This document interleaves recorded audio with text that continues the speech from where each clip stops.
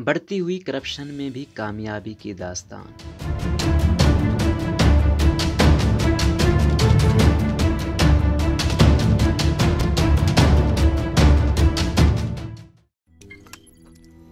रोज़नामा कुदरत की वीडियो देखने के लिए अभी यूट्यूब चैनल पर सब्सक्राइब करें और बेल आइकन पर भी क्लिक करें।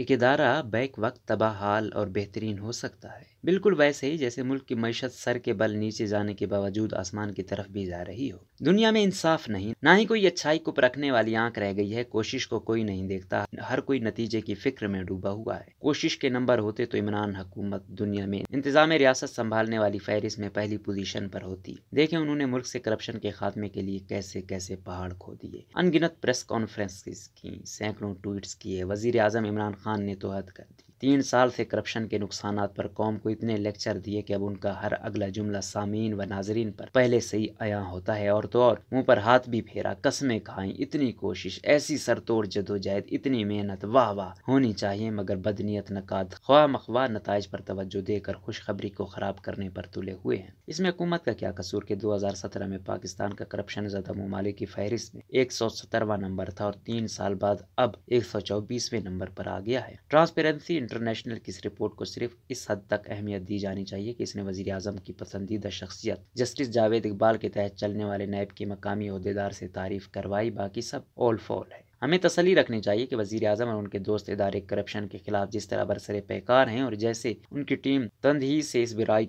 को जड़ से उखाड़ फेंकने में दिन रात एक कर रही है। सुरखुरु होना हमारा हक है। बैन अवी रिपोर्टरों में बढ़ती हुई करप्शन के तस्करे हमें अपने मकसद से हटा नहीं पाएँगे। हमारा जिहाद जारी रहेगा। बेशक करप्शन में इजाफा होता रहे। कुछ ऐसा मामला दूसरे इदारों में भी देखने को मिल रहा है। कोई ये याद नहीं करता कि चंद साल पहले पाकिस्तान टेलीविज़न का क्या बुरा हाल था। वर्कर्स एहतजाज वगैरह तो नहीं करते थे, लेकिन खराबियाँ बहुत थी। आज नहीं बुखारी को इस इदारे में लाने की बेहतरीन पॉलिसी ने बेशक अदालती कार्रवाई और अंदर की आलाइशियों को बाहर आने का लामतनाई सिलसिला शुरू कर दिया है, मगर मगर आप इस अजीम कोशिश की अहमियत से इनकार नहीं कर सकते, अभी नहीं, बुखारी पीटीवी में नहीं और इदारा बेशक अंदरूनी खिलफशार का शिकार है, इसके चलाने वाले एक दूसरे का गरेबान पकड़ कर हर दूसरे अखबार में काला कुछालते रहे हैं, मगर ये इदारा बेहतरी की तरफ़ ही जा रहा है। बिल्कुल ऐसे ही जैसे पाकिस्तान रेलवेज को साद रफीक के चुंगल से छुड़ाकर शेख रशीद की अला क्यादत मुयसर कर दी गई थी, हुकूमत की तरफ़ से इस अहम अवामी सफ़र के ज़रिए को पहली की नस्बत पैसों की मदद भी बढ़ाई गई। फ़िक्र की बात नहीं कि अगर इसके खसारे में पिछले चार सालों की नस्बत कहीं ज़्यादा ज़्यादा इजाफा हो गया है। इसका मुनाफा पिछले सालों की नस्बत कम हो गया है हादसा की शराब बढ़ गई, मगर शेख साहब ने एक अजीम कायद होने का सबूत ज़रूर दिया।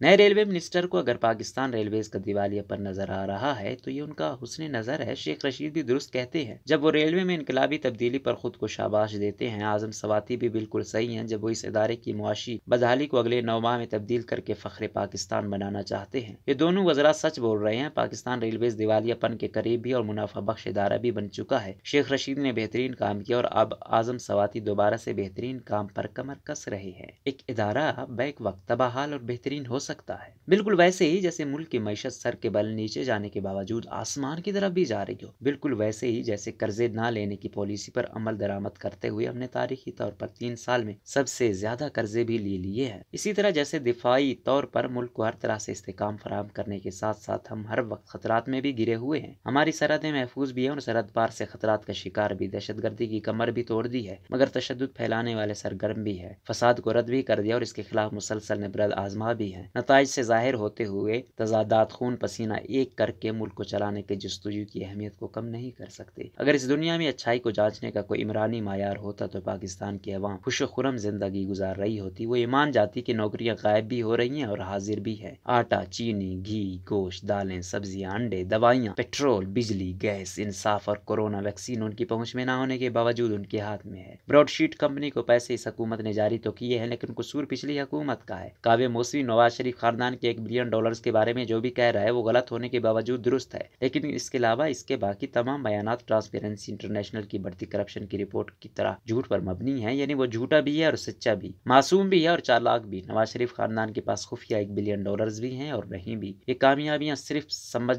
व दानिश रखने वालों पर आश्कार होती हैं, जो नाकिसुल अकल नतज की बहस में उलझ जाते हैं और उनको अंधेरों के अलावा कुछ दिखाई नहीं देता। तब्दीली की इससे बड़ी मिसाल और क्या होगी कि पहले आसिफ अली जरदारी के घोड़े सेब का मुरब्बा खाया करते थे और अब गवर्नर का कुत्ता प्रोटोकॉल के साथ गाड़ी में सफ़र करता है। घोड़ों पर तनकीद से कुत्तों की तारीफ़ तक तब्दीली का ये सफ़र जारी रहेगा। बस आप दुआ करते रहें कि नए पाकिस्तान को चलाने वाली जोड़ी सलामत रहे।